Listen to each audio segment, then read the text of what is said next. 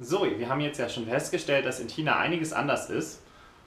Essen, Schule, Infrastruktur. Heute Morgen hatten wir zum Beispiel kein Wasser. Martin stand komplett eingeseift unter der Dusche und dann war vorbei. Es kam auch nicht wieder. Er hat sich wohl jetzt mit Wasser aus dem Wasserspender irgendwie nochmal abgespült. Aber naja. Eine Sache, die hier anders ist, ist, dass neue Studenten erstmal militärischen Drill erfahren. Ich habe heute unsere chinesische Bürovorsteherin gefragt, warum. Und sie sagte, dass die Kinder zu Hause ja sehr undiszipliniert sind und lange schlafen. Hier müssen die Studenten um fünf aufstehen. Und ja, dann sieht man militärischen Drill. Sieht dann folgendermaßen aus.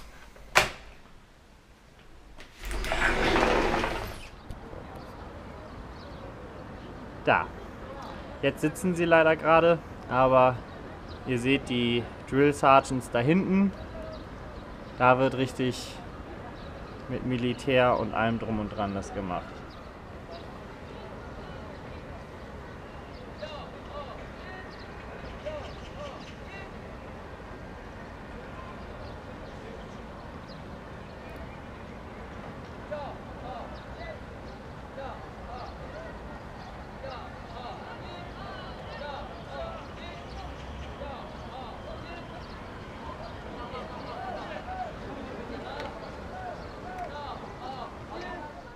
Aber sie sind trotzdem fröhlich und das ist ja auch schön.